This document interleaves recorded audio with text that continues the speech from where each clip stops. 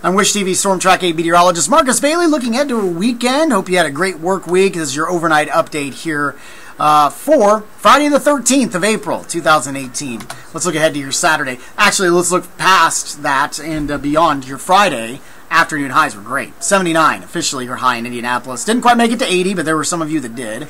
Muncie, Shelbyville, Columbus officially go down in the books today as 80 degrees. Most areas were dry. We did have a few isolated showers that made made their way through portions of the area during the afternoon hours. We'll be tracking more rain and a few thunderstorms while many of you are sleeping overnight. So if you're watching this and waking up, I don't think we have any severe weather to deal with, at least for the overnight hours leading into the morning drive, but or the uh, early morning hours of Saturday. Uh, could have some potential for heavy rain. And again, a few garden variety thunderstorms possible. There is that severe weather risk. That's more so for the afternoon. Marginal risk across much of central Indiana with a heightened slight risk for our western counties. That will come after lunchtime. We think this first wave moves out by midday on Saturday. We catch a little bit of a lull, could help recharge the atmosphere a bit, and then we'll get some isolated thunderstorms that we think could be on the strong to severe side. Damaging wind, the primary concern. Won't rule out a rogue tornado or maybe some hail and certainly flooding is going to be an issue with some decent downpours here and there. Cold front's gone by very late Saturday night, so the window really for severe weather is, I think, going to be late afternoon to mid evening here in central Indiana. And then it's going to be widespread, steady rain late Saturday night heading into Sunday. Numbers before the cold front moves out 70. So another warm day on tap, even though we'll get all that rain.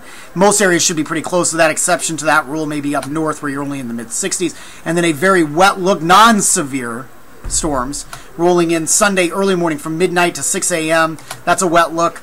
Continue that trend through midday, and then we'll start to wind things down a little bit as we get closer to the evening hours. But you're going to talk talking several hours here of some widespread heavy rain potentially to wrap up the weekend. One to two inches, I think, is certainly possible across much of central Indiana. There could be some isolated higher amounts, so a lot that we're going to have to watch for here. Uh, for the weekend. Unfortunately, it's going to mean a cool down too. Chapman Heating and Cooling eight day forecast. Uh, we'll go from the 70s to the 50s Saturday to Sunday, and cold enough Monday morning. I think we get a bit of a wintry mix sliding in here. Uh, maybe even just all snow. No accumulation expected. Chilly start Tuesday morning, upper 20s, but we bounce back to the 50s Tuesday, back to above average with isolated rain chances Wednesday. Lots of ups and downs. We go back to 50 on Thursday, and then we go back to near normal temperatures for Friday and Saturday of next week to wrap up the work week. Great time with the severe weather aspect in the cards for the weekend to have our Wish TV weather app, interactive radar, and of course weather alerts based on your location. That is a free download. Just go to your phone's app store and search for Wish TV weather. Stephanie Mead has you covered on the TV side for 24-hour News 8 Daybreak Saturday starting at 6 a.m. And of course, updates 24 hours a day on our website, wishtv.com. Have a safe overnight and a wonderful weekend.